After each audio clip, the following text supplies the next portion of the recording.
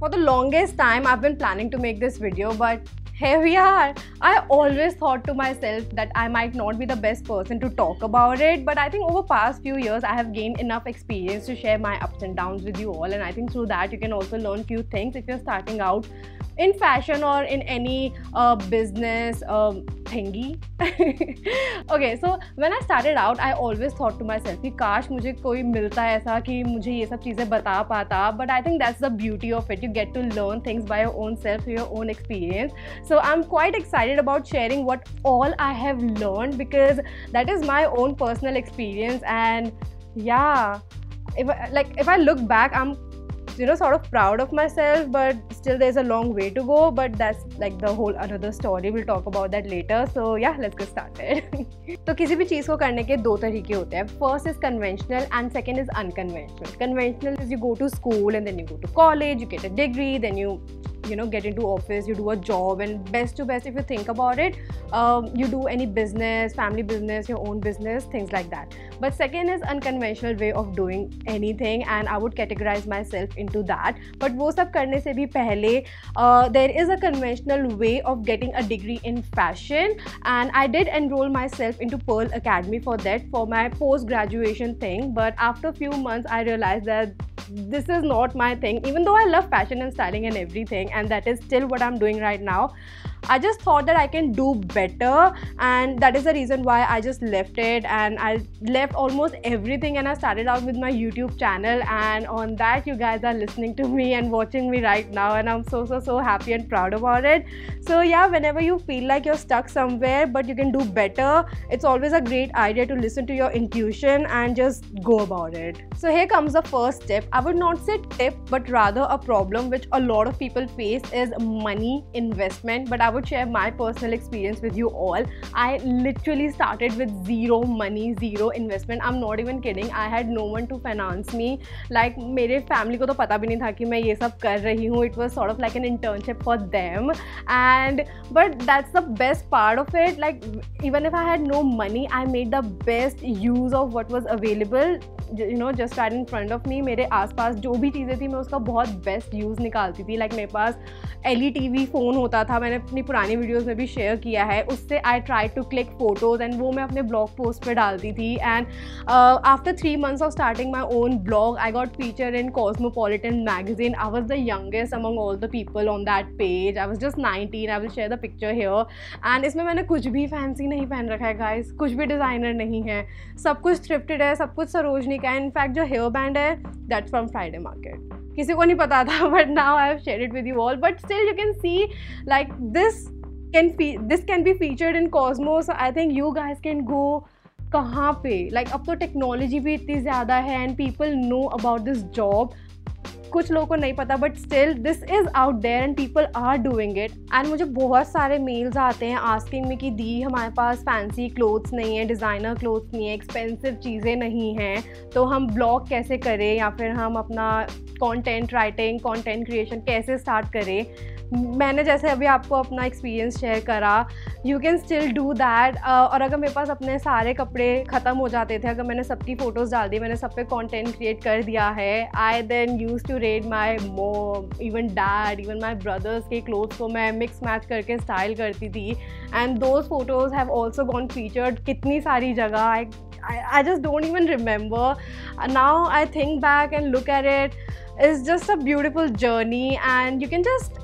go ahead with whatever you want to and content creation में people आसमी की ठीक है, हमें फ़ैशन करना है बट हम कैसे स्टार्ट करें, हम कैसे लिखें, क्या करें? आई टेल यू वॉट जैसे आप बोलते हो, जैसे आप डेली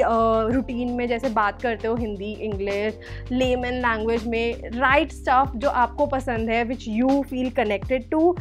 आपको लगता है कि अगर आपके पास कुछ है जो आप शेयर कर सकते हैं, कुछ इंटरेस्टिंग है just put it out there on the internet and if like after some time you gain confidence. You can start putting your own pictures as well. Because that's what I did. Starting mein hota hai thoda ki um, you know you don't know how to click photos and everything. But after some point uh, you know you get confidence and you can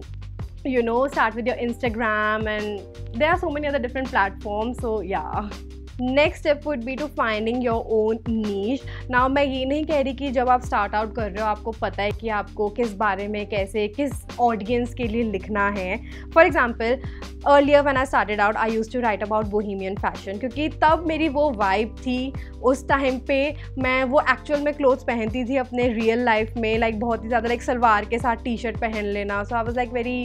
you know hippie and stuff like that but later I got more into casual styling and uske baad to as I you know my style evolved I grew uh, it has become more of casual and chic so I would say कि मैंने खुद अपना style explore किया है and मुझे नहीं पता कि आने वाले सालों में भी it would change and I know it would change but I don't know how and I think that's how you connect with your audience as well because जो भी आप content put कर रहे होगे आप जिस भी बारे में लिख रहे होगे you will get audience world is so huge there are people who would think alike जो आप लिख रहे हैं, जो आप प्रेजेंट कर रहे हैं, जो आप शेयर कर रहे हैं you will get your audience and if you think कि मुझे तो कोई समझता ही नहीं बट मेरे पास तो इतनी सारी चीज़ें हैं शेयर करने के लिए I use to feel the same way but trust me once you put it out there you will find people like you and they will start liking you and they will follow you so just don't worry about it and to be very honest अगर आपको लगता है कि मुझे कोई नहीं समझता, तब तो आपको ज़रूर ज़रूर अपने आप को प्रेजेंट करना चाहिए because people just love your uniqueness and you never know you will inspire many people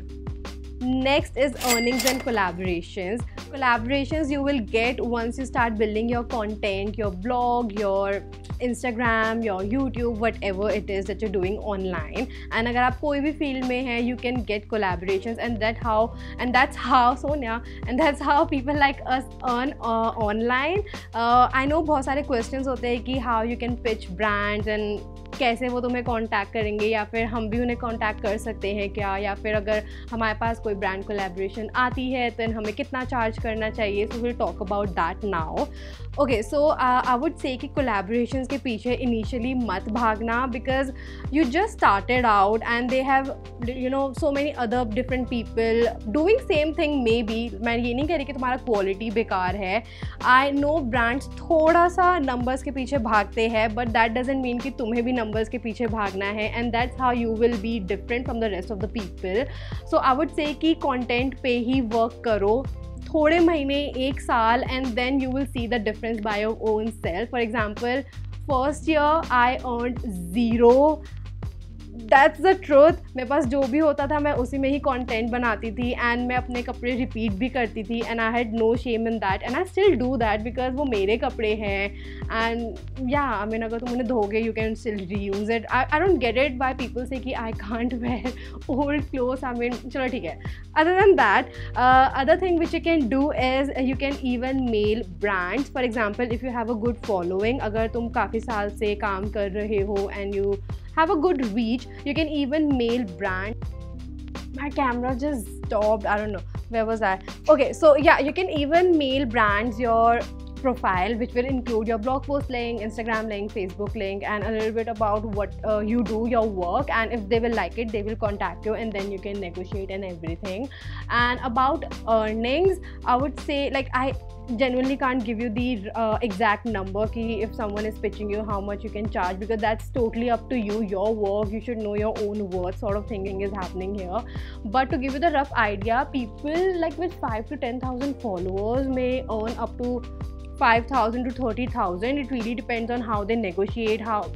the kind of work they are putting out there if it's different if it's unique and you know it's experimental and so many different things goes into deciding the exact number and it is something which you learn by your own self. This is something which i just cannot uh, tell you or teach you. You learn it by your own self. So yeah